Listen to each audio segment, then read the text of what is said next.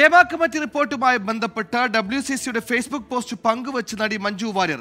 Cyber ആക്രമണത്തിനെതിരെയാണ് കുറിപ്പുള്ളത്. അശ്വിൻ പാലായ വിശദാംശങ്ങളുമായി ചെയ്യുന്നത് അശ്വിൻ ഇപ്പോൾ ഡബ്ല്യു സി സിയുടെ ആക്റ്റീവ് മെമ്പർ അല്ലാത്ത ഒരു ഒരു ആക്റ്റീവ് അല്ലാത്ത മഞ്ജു വാര്യർ ഇത്തരത്തിലൊരു പോസ്റ്റ് പങ്കുവെക്കുമ്പോൾ എന്തൊക്കെയാണ് നമ്മൾ മനസ്സിലാക്കേണ്ടത്?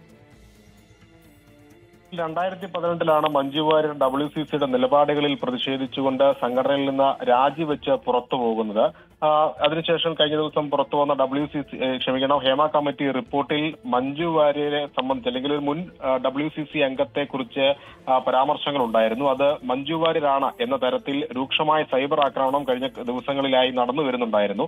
ആ സൈബർ ആക്രമണത്തെ അപലപിച്ചുകൊണ്ടാണ് ഇന്ന് രാവിലെ ഡബ്ല്യു സി സി ഫേസ്ബുക്കിലൊരു പോസ്റ്റ് പങ്കുവച്ചത്. ഡബ്ല്യു സി സ്ഥാപക അംഗത്തിനെതിരെ നടക്കുന്ന ഹീനമായ സൈബർ സൈബർ ആക്രമണം അംഗീകരിക്കാനാവില്ല.